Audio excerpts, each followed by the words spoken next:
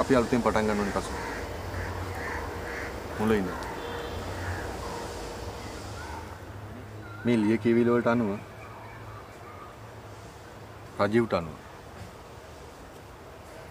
අනාගත ලංකාවේ දේශපාලනය තීරණය කරන්නේ මේ ප්‍රධාන දේශපාලන පක්ෂ දෙක නෙමෙයි. ජනමාධ්‍ය ආයතන. විශේෂයෙන් ඔය පෞද්ගලික ටෙලිවිෂන් නාලිකා.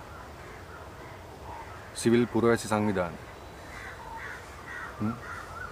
සයිභාවකාශ. ඒක නම් ලිබරල් තත්ත්වයක්. හොඳයි. හැබැයි භයානකයි.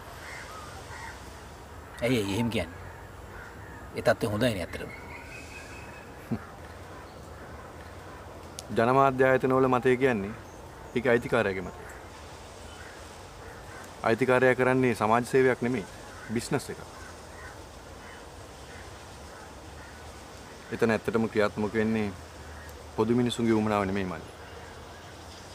එහෙම පෙන්නුවත් ඒ පෙන්වීමත් ඒ බිස්නස් එකේ මාකටිං කොටස. ආ එහෙම කියන්න බෑ නේදයි. මොනවනොත් රජීව් සර්ගේ ආටිකල් ටික අපේ පත්‍රේ යනවනේ. එතන තියෙනෙත් මාකටිං තමයි මල්ලි. එහෙමම කියන්න බෑනේ අයි. මොනවනොත් අපේ ලොක්කා වැඩේ තම්ස්ලේ ලොක්කා. තම්ස්ලේ ලොක්කා මොනවා වුණත් පරණ වමට සම්බන්ධ මිනිහෙක් නේ. ඒ වුණාට මල්ලි ඔකුන් පරණ දරමිටි වගේ. ලිපට දාන්න හොඳයි. හැබැයි සාපේක්ෂව රටට කරන හානිය අඩු. මේ වෙලාවේ අපිට තෝරගන්න තියෙන්නේ හොඳම තැන නෙමෙයි. හානිය අඩුම තැන. ඒකයි රජීව් කළේ.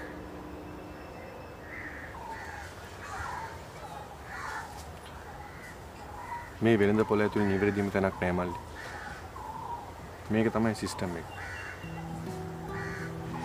අපි ඉන්නේ මේ සිස්ටම් එක ඇතුලේ. ඇතුලේ ඉඳගෙන ඇතුළතින්මයි පුප්පන්නේ. උඹ අහලා තියෙනවද ට්‍රෝජන් හවුස් ගැන? ඔව්. කිසිදු කිසි දින බිඳ හෙළනු බැරි. අහස සූරන පවුරු පදනම්. තියෙද්ද. තව තියෙද්ද. උන්ගේම පෙරහැරෙන්. උන්ගේම හරසර. උන්ගේම තල්ලුවෙන්. උන්ගේම මල් පලස් මත. උන්ගේ නුවර මැදටම ආබැව් නොපෙනෙන අපේකි. කිසිදු කිසි දින බිඳ හෙළනු බැරි. අහස සූරණ පවුරු පදනම්. ඇතුළතින් පුපුරවන. නුවර මැදට ආ අපේකි.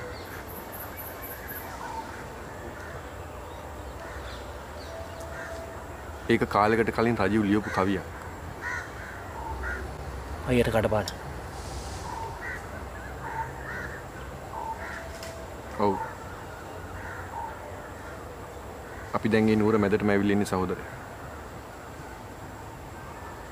අපි වගේම තව උන් ඉන්නවා.